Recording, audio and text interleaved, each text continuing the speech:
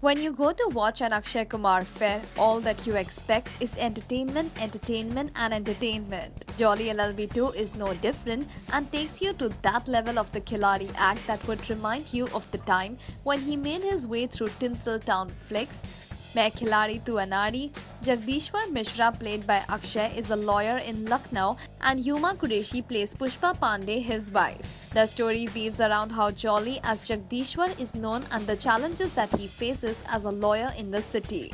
The story takes a twist when Jolly is faced with solving the most critical case of his career. Most of the cast has been retained from the original Jolly LLB where Arshad Warsi played the role of Jolly. Akshay does a great job of playing the goof that he is portrayed as, and with the kind of dialogue delivery and comic timing that he always has, Jolly LLB 2 races to get a start.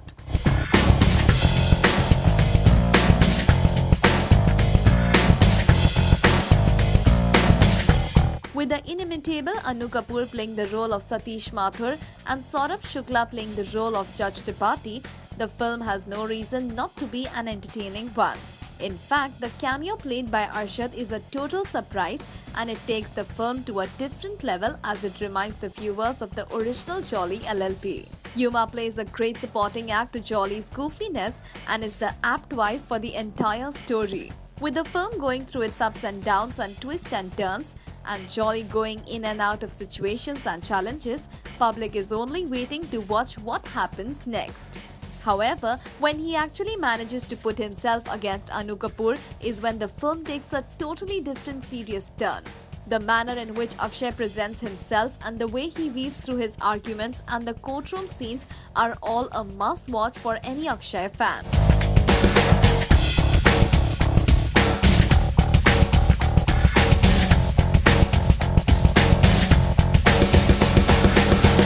With Nikhil Dwivedi also present in the film, the cast only adds on to the interest quotient of an avid watcher of a movie like Jolly LLB 2.